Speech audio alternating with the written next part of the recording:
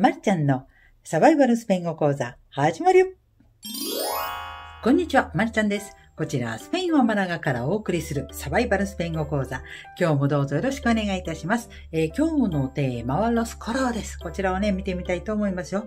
こちら、まるちゃんのサバイバルスペイン語講座では、私のスペインでの日々の生活をもとに楽しくレアなスペイン情報と簡単で必ず通じるスペイン語をあなたにどんどんお届けしておりますよ。ぜひですね、チャンネル登録をプチッとしていただいて、私と一緒にね、楽しくお勉強していただくと嬉しいです。ということでございますね。で、あの、以前にですね、の、白と黒ね、ブランコイネグロというね、動画を作っております。で、今日はそちらのね、続編というかね、あの、前回のその白と黒に関してはですね、白と黒とね、ブランコ、イネグロというね、言葉を使って、いろんな表現方法を見てまいりました。で、色の世界にはもう、もう、もうね、数あまたの色がございますので、今日は主な色、主な色のね、いろんな意味をね、見ていきたいと思いますよ。えー、最初にね、黄色ね、見ましょう。黄色ですけども、こちら、アマリージョ。アマリージョという風に言いましょう。こちら、黄色ですね。で、黄色のね、あの、お洋服なんですけど、なんかテレビ出る人とかね、えー、舞台に、えー、出る方はね、あまり黄色を着ない方がいいというね、話があるそうですよ。ね。で、こちらね、 amarillo でね、 prensa amarilla。prensa amarilla というね、これはあの、表現方法、表現方法というか、えこれは雑誌のことなんですけどね、これはまあ、あの、なんでしょうしょうね、えスキャンダルとか事件とかをね、取り上げる雑誌に関して、こちらは prensa amarilla というふうに呼びますよ。ね。まあ、日本で言うと何でしょうね、フライデーとか、えー、そういう類の雑誌でしょうか。 prensa amarilla ね。あとね、あの、ポネールセアマリージョ、ポネールセアマリージョという言葉がありますが、これね、恐怖でね、血の気を失う。ということでございますよ。恐怖で血の気を失うね。えー、例えば、み、みアミゴセプソアマリージョポールアクシデンテでコーチということでございますね。私の友人はね、えー、交通事故でちょっともう血の気を失ったということでございますよ。ね、アマリージョね、アマリージョという言葉でございます。これ私どうしてもね、もういけない、いけない、ほんといけないんだけどね、いつもアルゼンチンのね、人のことをね、お友達のことを思い出すね。アマリージョって聞くとどうしてもね、アマリッショ、アマリッショっていうね、もうどうしても言いたくなるというね、習性がございますよ。ね。次はね、マロン。マロン。ね、こちら茶色ということなんですけどもね、マロンという風に言いますよ。これもね、あんまりね、あの、あの色の感じからして、そんなにいい意味がね、ないんですけど、えー、例えばこれはね、うんマロン、うんマロンという風に言うと、これはまあ、不快なこととか、嫌なこととかね、厄介事のことをね、うんマロンという風に呼びますよ。ね、かわいそうにね、茶色さんね。で、これ例えば、コメルセうんマロン。コメルセうんマロンという風に言うと、これは誰もやりたくないようなことをやらされるという意味になりますね。えー、例えば、siempre me como un marrón, siempre me como un marrón というふうに言うと、なんか知らないけど、いつも私ね、えー、やりたくないこと、ね、みんながもう嫌だっていうようなことを私がどうしてもやって、いつもやってる、ね、私に降りかかってくるのよ、ということでございましょうかね。メールセウンマロン、コメルセウンマロンという言葉でございますよ。マロン、ね、こちらね。えー、次はね、こちらね、モラード、モラードね。これ紫色のという意味になりますね。で、これ例えばね、あの、オホモラードっていうと、ね、たまにあの、誰かに殴られたりしたら、ね、この辺が青くなってる人はいますけども、はい。でね、オホモラード。というふうに言ってあげましょうね。気がついてないかもしれません。あとね、モラトン。朝とかね、例えばあの、転んだ時に、こういうとこがなんかこう、青、青赤くなってる時ありますよね。ああいうのに、モラトン、モラトン。これもね、モラードね、モラードから来てる言葉ですよね。モラトンというふうに言いますね。あと、例えばですね、pasar las moradas, pasar las moradas というふうに言うと、これは困難が振りかぶる。困難が振りかぶるという意味になりますよ。あとね、エスタールモラード。エスタールモラードね、これベルボエスタールをつけますと、これ酔っ払った。酔っ払っているということになります。エスタールモラードってこういう感じでしょうかね。ポネールセモラード。ポネールセモラードでね、これ食べすぎるという意味ですよ。食べ、ラセナであのチェメプセモラードでカルネってね、アルゼゼンチン料理屋さんか何か行きましてね、昨日の夜、ちょっとお肉食べすぎたわ、というふうに言っているということですよ。ね。En la cena de anoche me puse morado de carne というふうに言ってるね。これ次はね、L、ナランハ。ナランハ。これね、オレンジ色ということになりますよ。あとあの、フルーツのね、オレンジ。あちらもナランハというふうに、フルーツのオレンジね、ナランハ。オレンジジュースだと、スーモデナランハ。スーモデナランハというふうに言います。これスペイン、スペインのね、ジュースですよ。南米の方は確かフーオデナランハというふうに言ったかと記憶しておりますね。スーモデナランハ。オレンジジュースね。これあのね、メディアナランハっていうね、すごく素敵な言葉があるんですけど、これはね、あの、最高のパーパートナーね、あなたの伴侶、ね、生涯の伴侶のことをメディアナランハというふうに言いますよ。これね、どういうことかというと、同じオレンジでもね、これ、ね、一つのオレンジを真ん中に、真ん中でプスッと切りますとね、他のオレンジの半分とこっちの半分は合わないでしょうね。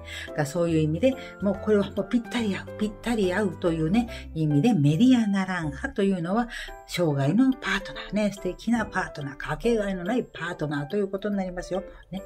こういう感じで。LS ミ、メリアナナハというふうにね、ご紹介しましょうね。えー、あなたもね、えー、奥さんのこと、エジャエス、ミ、でかいな。エジャエス、メメディアナランハというふうに紹介しようということでございましょうか。こちらメディアナランハね。次ね、こちら、ベルデ、エルベルデ。これ緑色なんですけど、こちらエルベルデという風に言いますよ。でね、あの、こちらのね、あの、信号なんですけど、これ以前に何かお話したことがあると思ったんですけど、ね、セマフォロね、セマフォロ、セマフォロエスタベルデ、エルセマフォロエスタベルデという風に言うと、信号は青だという風に言っていますよ。これね、日本の皆さんは信号機の色を青という風に捉えていらっしゃいますけど、こちらではね、ベルデ、緑という風に言いますよ。エルセマフォロロエスタベルデというふうに言いますね。で、まあ、これと同じようなことでね、えー、ダルスベルデ、ダルスベルデというふうに言うと、これは許可を与える。許可を与えるという意味で、ダルスベルデ。これ、まあ、エスタール、ベルボエスタールを使いましてね、エスタールベルデというふうに言うと、これはね、あの、まだね、熟していないとかね、そういう意味になります。例えばね、あの、フルーツ屋さん行きまして、これまだちょっと青いな、ね、青いな、やっぱ青いなですね。ね、例えば、este aguacate está verde. todavía という感じでしょうかね。este aguacate está verde. このアボガドはまだちょっと熟してない、まだ食べ頃じゃないわね。ということでございますよ。これね、está verde でまだ熟していないということでございます。なんかあれですね。あの、アボガドのチンするとね、青いアボガドをね、チンすると食べ頃になるって聞いたことがあるんですけど、本当試したことないですけどね。本当でしょうか。ね。あと、例えばね、その同じエスタールベルデでね、例えばバイトで新しい男の子が入ってきてね、えー、まだまだ未熟ね、というような時にね、エルトダビアエスタベルデ、ね、エルエスタベルデというふうに言うと、エステ、まだちょっと経験が足りないね。まだ仕事をね、覚えきるにはちょっと時間かかるよ、という感じでしょうか。エスタールベルデね、こちら、ポネールベルデアアルゲン。ポネールベルデアアルゲンでね、そのアルゲンね、誰かのことをね、悪く言ってる。ね、悪口を言ってるということですよ。ね。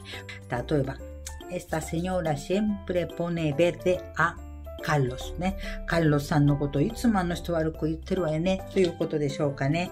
カルロスさん悪い人なんでしょうかね。あとね、これあの、ポネールセベルデでエンビディア。ポネールセベルデでエンビディアというふうに言うと、ね、これは人を羨むね。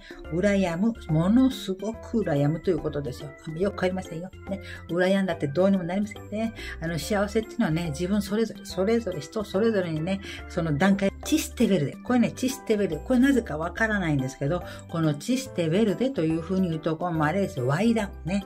えー、ワイダン、今、日本語でワイダンっていう人いるかどうか知りませんけどね。まあ、ちょっとね、ちょっとエッチなね、話をね、チステベルデというふうに言いますよ。まあ、これに関連しましてね、ベーホベルデという言葉があります。これね、あの、そういうワイダンばっかりね、してるような、ちょっとね、あの、エッチなじいさんのことをね、ベーホベルデというふうに、ということですよ。ベーハベルデだと、ちょっとエッチなばあさんということでしょうかね。ベーホベルデ、ベーハベルデね。あとね、芝生とかね、あの、緑ね、あの、木々の緑とか、草のことも、ね、普通にエルベルデというふうに呼びますよ。ノッセンタモ、ノッセンタモスエンネルベルデ、ノッセンタモスエンネルベルデというふうに言うと、ちょっと公園か何か行きましてね、芝生の上で座りましょうというふうに言っているということでございますよ。次はね、アスー、アス。これ青ですね。青のことは azul、azul というふうに言いますよ。で、これはね、あの、なんでしょうね。ちょっとこう高貴なイメージのね、する色だということでございますよ。ね、 tener sangre azul、tener sangre azul というふうに言うと、ちょっともう高貴なね、まあ人ということですね。王室の方なんかのことをね、 tener sangre azul、sangre azul というのはね、青い血を持っているということですよ。ね、 tener sangre azul というふうに言うということでございますよ。これは高貴な人ということでございますね。 príncipe azul、ね、 príncipe azul というふうに言うと、これは完璧なね、人、完璧な人のことを príncipe azul というふうに言いますね。これ、まあ、あの、いわゆる青い王子様ということなんですけどね。まあの、 príncipe azul、私に、私にとっての príncipe azul、príncipe azul はあなたよ、なんてね、言う時に使うということでしょうかね。確かね、これあの、うろ覚えなんですけど、あの、結婚式の時にね、 novia ね、神父さんがね、どっか、あの、ドレスの下にどこかにね、青い何かね、青い色をした小物をね、体につけて結婚式に臨むというのね、聞いたことがありますよ。こちら、 azul、azul でございましたよ。次はね、 gris。gris。こちらグレーになりますね。 gris ね。これはまあ、あの、なんでしょう。ちょっと今日曇ってるわね。なんていう時にね、OS ディアグリース。エルディアグリースというふうに言うとちょっとどんよりしたね、曇った日のことをね、 gris というふうに言いますね。まあ、その色自体がね、あんまりなんでしょうね。そのちょっと地味なとかね、味気のない色というふうに捉えられていますよ。 el gris。まあ、日本でも同じですよね。まあ、グレーだ。ちょっとね、どんよりした感じということでしょうかね。あとあの、なんでしょうね。ね、 zona gris、zona gris というふうに言うと、あの、グレーゾーンという言葉がありますけども、まあ、白か黒かはっきりしない、ちょうど真ん中ぐらいね、白とね、黒のインク、えー、絵の具を混ぜ合わせますとね、グレーになりますからね、それと同じでね、ちょっと口のこの人、歯にだが、なんだか、ちょっとよくわからないわね、っていうような時にね、 gris、zona gris というふうに言うということでしょうかね。Aquel hombre es una persona gris ね。 Aquel hombre es una persona gris というふうに言うと、とてもね、地味なね、あんまり目立たない人だということでしょうか？それもそのはずね。 Lleva la vida gris。Lleva la vida gris ね。というふうに、これはまあ灰色の生活を送っているということですよ。ね。とこちらね、 rosa。rosa ね、これピンク色ということになりますよ。あとあのバラのことね、お花のバラのこともロサというふうに言いますね。コロ、ロサってね、こちらね、例えばですよ、ね、コベターって聞かれて、コベターって聞かれて、とい込むな、ロサというふうに言うと、これはね、もうすんごい元気ね、もうなんかもういっぱい寝ちゃって、12時間寝た後のようなね、えもう、もうそんな感じね、もうすごい元気でね、もうみずみずしい、今日私元気という感じね、あと美しい、みずみずしいしくて美しいという人のこともね、こういうふうに言いますよ。ね。エスタルコモウナロサね。エットイコモナロサというふうにね、答えてみよう。たまには答えてみたいものでございますね。こちらね。あとね、何でしょう。ビダでコロロサ。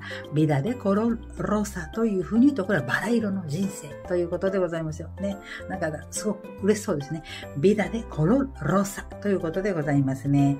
あとね、あの、さっきね、ありましたね。あの、prensa amarilla ってね、ありましたけど、こちら prensa rosa、prensa rosa というふうに言うと、これは有名な方のね、有名人のあの、ゴシップとか、ね、あとそういう、なんでしょう、有名人のなんでしょうね、ちょっと、生活をちょっと写真撮ったりする雑誌、こちらだとね、 Hola っていうね、有名な雑誌がありますけど、そういう雑誌のことね、 prensa rosa、prensa rosa というふうに言いますね。まあ日本だと何でしょうかね。まあフライデーみたいなものでしょうか。さっきもフライデーって言いましたか？ね。とね、ノベラロサ。ノベラロサというふうに言うと、これは何でしょう？今でも日本であるんでしょうか？あ昔ありました。あの、なんだっけ、えー、ハーネ、ハー、ハーレン、なんとか、なんとかロマンスとかいう、そういう、は、とか、こういうなんかのポケット本みたいなのありましたけど、ああいうね、ロマンチックなね、小説のことをね、ノベラロサ。ノベラロサという風に言いますよ。あとはですね、ベッラスコサステコロロサ、ベッラスコサステコロデロサという風に言うと、これは楽観的だということでございますね。えー、siempre veo la vida de color de rosa というふうに言うと、なんかもう楽観的ね、もうどういう、どんなことがあっても全然平気、全然平気ということでございますよ。こちらね、veo las cosas de color de rosa 楽観的だということでございますね。で、こちら、次にね、el rojo, el rojo ね、こちら赤色ということでございますよ。赤い色ね、rojo こちらね、えー、これはね、例えばね、estar en números rojos ね、estar en números rojos というふうに言いますとね、えー、こちらはね、借金だらけ。ということでございましょうかね。でこれ、これあのですね、あの、赤字ね。赤字ってことですよね。これまあバンコク共通なんでしょうかね。ヌメロスロホスというと、これね、赤字ということになるということでございますよ。エストイヌメロスロホスというね、マルちゃん借金だらけ。ということで、誰か助けて。ということでございますね。で、これね、例えば私はそういうね、自分の恥をね、晒しておりましてね、それで、こちらこんな感じで、メポンゴロホ、メポンゴロハ、ね、メポンゴロハっていう、こちら顔が赤くな、もう恥ずかしいわ、赤くなっちゃったということでございますよね。メポンゴロホということでございますよ。ね、トマトみたいに赤くなっちゃう。で、日焼けした時なんかもね、そういう風に言うということでございますね。例えば、ロスイングレッセ、シンプレセ、ポーネン、ロホ。ね。で、夏は、夏はなんかもう真っ赤なイギリス人がいっぱいに歩いておりますからね、えー、こんな気をつけてほしいと思う。アロエベラがいいと思いますよ。アロエをね、日焼けした後はアロエベラを塗ってほしいということでございましょうかね。こちら、あとね、ポネールセ、アロホビボ。ポネールセ、ロホビボというふうに言うと、これはね、ものすごく興奮状態にあるね。例えばなんかディスカッションか何かしてましてね、口論がもうものすごい盛り上がっちゃって、ね、えー、ってね、言うような、言う言ってるようなね、人たちのことをね、えー、mira, mira, ellos se ponen al rojo vivo. Ellos, ellos se ponen al rojo vivo. というふうに言うということでございますよ。ね、これが赤ね、ロホということでございましたね。